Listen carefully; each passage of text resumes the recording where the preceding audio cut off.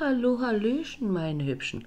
Heute reden wir über die Vorhersagen von Alois Irrmeier über Flüchtlinge und Plünderungen und setzen sie dann in Bezug zum Zweiten Weltkrieg.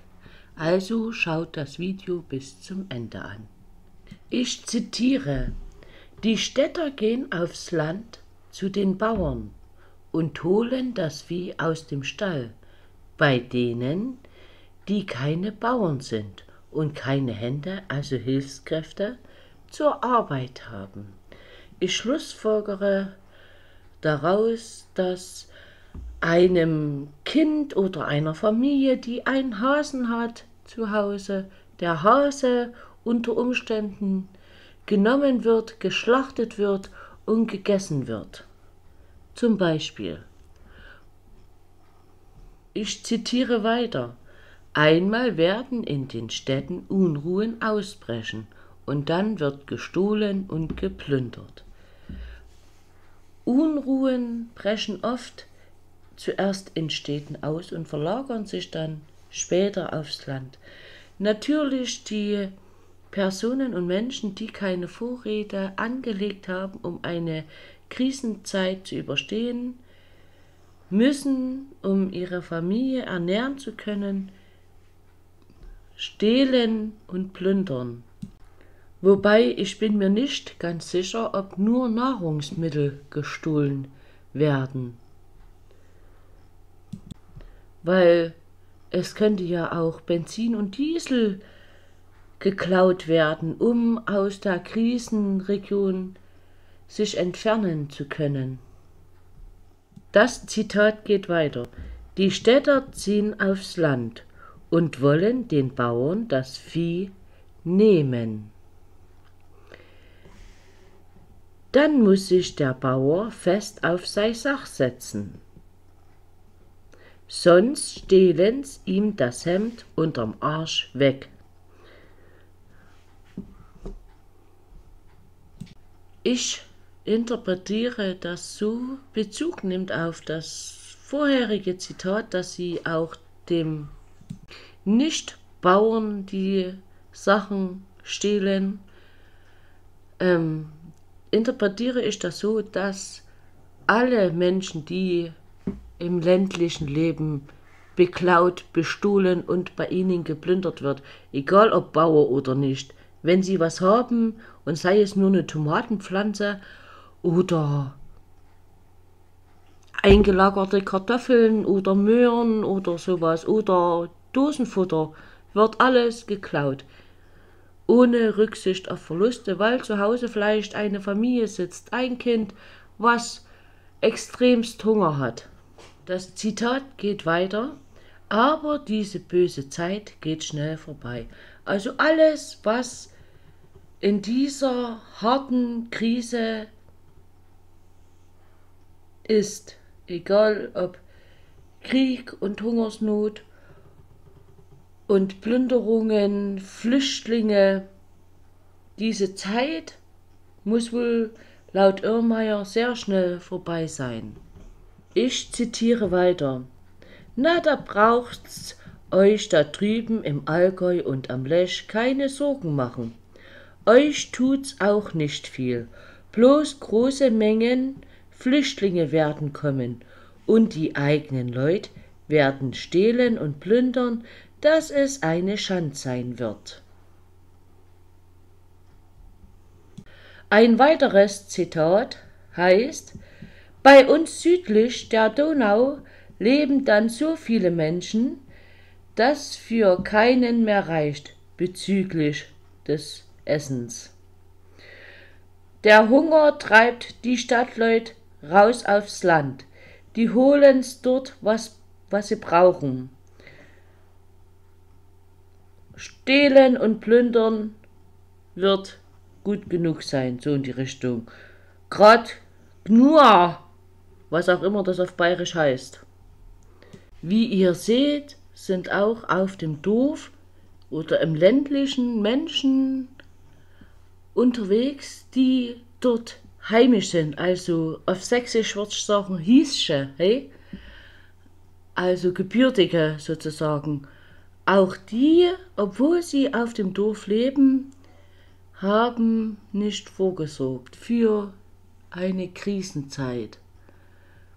Mögen sie zugezogen sein oder nicht, aber auf dem Dorf, so meiner Meinung nach oder meiner Ansicht nach, ähm, sollte man auf dem Dorf immer einen gewissen Vorrat haben, weil man ja aus Geschichten von Großeltern oder Urgroßeltern weiß, dass es auch mal schwierige Zeiten geben kann und es immer gut ist, einen Vorrat zu haben. Dann würden Plünderungen und Stehlen von den Mitgliedern der Dorfgemeinschaft nicht passieren.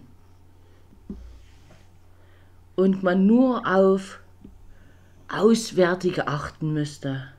Aber nein, laut dem Zitat von Irrmeier muss man ähm, auf alle achten, die das Hab und Gut, die Nahrung haben wollen. Machen wir doch mal einen kurzen historischen Rückblick auf den Zweiten Weltkrieg oder auf das Ende des Zweiten Weltkriegs. Ihr fragt euch jetzt warum? Weil wir aus der Geschichte wissen, dass der Mensch nichts aus der Geschichte lernt. Wie ihr auf dem Bild sehen könnt mit der Überschrift Plünderer werden mit dem Tode bestraft, ist das Hab und Gut und Nahrung schon in der damaligen Zeit unter starken Schutz gestellt worden.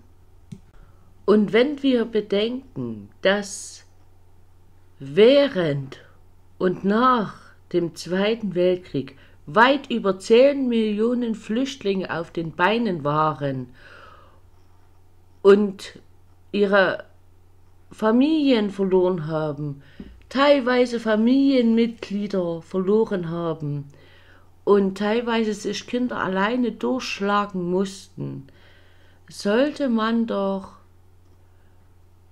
in Betracht ziehen, dass man sich auf solche Krisen vorbereitet oder einen gewissen Stammvorrat hat, der immer mit in Gebrauch ist. Ja, ich meine, es schadet nicht, wenn man anstatt einer Mehltüte vielleicht zwei oder drei hat. Ja, das kann schon einmal Leben bedeuten oder Tod, ja, wenn man es hat oder nicht hat. Und wenn wir jetzt mal bedenken, was alles während und nach dem Ende des Zweiten Weltkrieges geklaut worden ist oder wie die Situation war und jeder kennt die Geschichten, sei es aus dem Geschichtsunterricht oder durch Erzählungen von Oma, Opa oder so.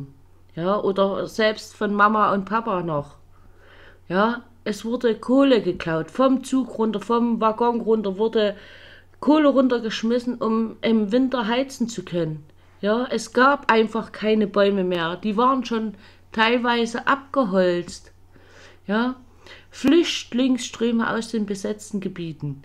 Ja, Ostpreußen, die sind übers Haff geflüchtet teilweise, sind eingebrochen, sind ertrunken, erfroren. Ja, wie viele kleine Babys sind auf der Flucht erfroren, ja? Diese Flüchtlinge, ja, es haben was zu essen gebraucht, ja, die haben Essen geklaut, ja. Die haben nicht nur Essen geklaut, die haben sogar Klamotten und Bettwäsche und alles geklaut, alles, was sie gebraucht haben, ja. Teilweise keine Unterkünfte, ja, für Flüchtlinge vorhanden, so dass sie in Baracken wie in den Slums von Indien oder so hausen mussten. Selbst ansässige Deutsche, die gar nicht irgendwo aus Deutschland rausgegangen sind, hatten keine Unterkunft und hatten nur Ruinen zum Wohnen, ja. Wohl dem, dass wir die Trümmerfrauen hatten, die das Land zum Großteil wieder aufgebaut haben. Und was floriert, wenn man nichts hat? Der Schwarzmarkt, weil auf dem Schwarzmarkt herrschte ein Austauschmarkt. Ja, äh, die harte Währung war zum Großteil Zigaretten, Alkohol, Kaffee von mir aus, also alles, was eine Sucht befriedigen kann. Heute könnte man sagen, hast einen Joint, kriegst du das und das dafür. So ungefähr stelle ich mir das dann vor. Was wir aber auch nicht vergessen dürfen im Zuge der historischen Erinnerung, waren die ständigen Fliegeralarme. Ja? Es waren Vergewaltigung und Verfolgung an der Tagesordnung.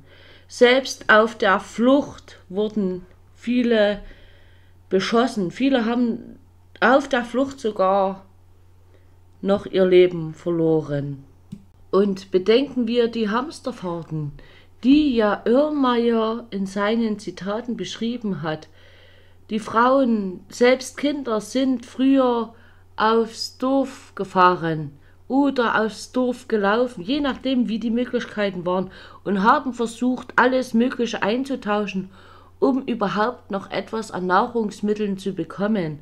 Aber ähm, laut dem Zitat, die Städter ziehen aufs Land und wollen den Bauern das Vieh nehmen, dann muss sich der Bauer fest auf sein Sach setzen, sonst stehlen sie ihm das Hemd unterm Arsch weg. Ja, das zeigt aber, dass die damaligen Hamsterfahrten anscheinend noch harmlos gewesen sind in Bezug auf das, was uns bevorstehen soll. Fassen wir doch mal kurz zusammen. Die Zitate von Irrmeier warnen vor einer zukünftigen Krisen- bzw. Kriegssituation, in der die Städter auf das Land ziehen und den ansässigen Landleuten, sei es Bauern oder Nichtbauern, Güter stehlen könnten bzw. werden.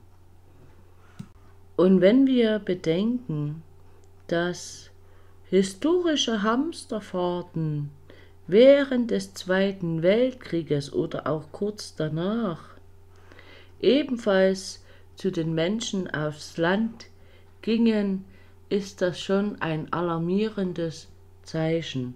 Einerseits dafür, dass die Menschen blauäugig sind und nichts aus der Geschichte gelernt haben.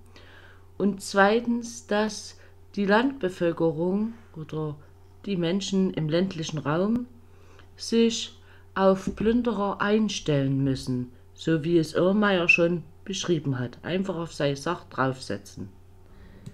Denn diese Hamsterfahrten waren im Gegensatz zu den Prognosen von Irrmeier ziemlich har harmlos.